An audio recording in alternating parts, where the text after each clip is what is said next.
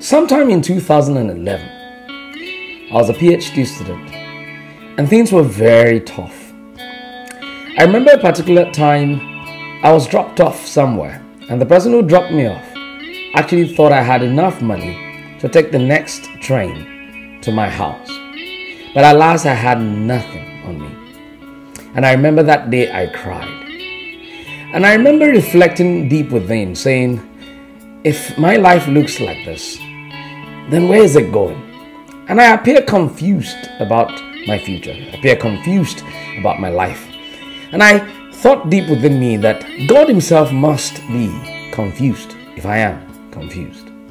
It was at that time that Jeremiah chapter 29, verse 11, actually made so much sense to me. That scripture says, For I know the thought that I think towards you, saith the Lord, thought of good and not of evil to give you a future and a hope.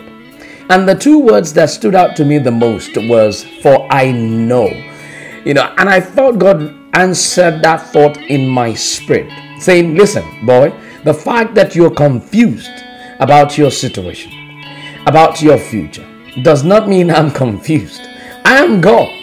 And because of that, I know. And that scripture clearly starts with those two words for I know. God was literally showing me that even though I may not know much about my future at that point in time, He knows.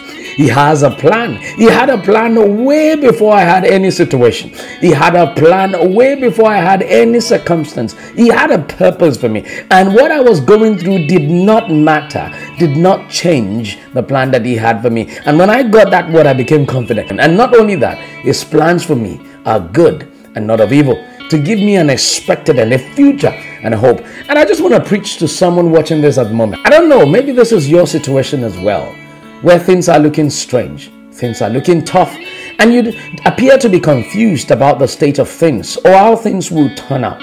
And because of your confusion or your ignorance of what's going on in your life right now, you're thinking God must be confused as well. You're, you're just wondering, does God have a plan for me? Does, does He have anything in plan for me? I've brought you good news.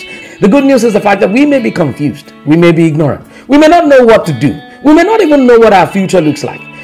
But God knows exactly what to do. He had a plan, He had a purpose way before we made a mistake, way before we made an error, way before our situation looks gloomy or look bad.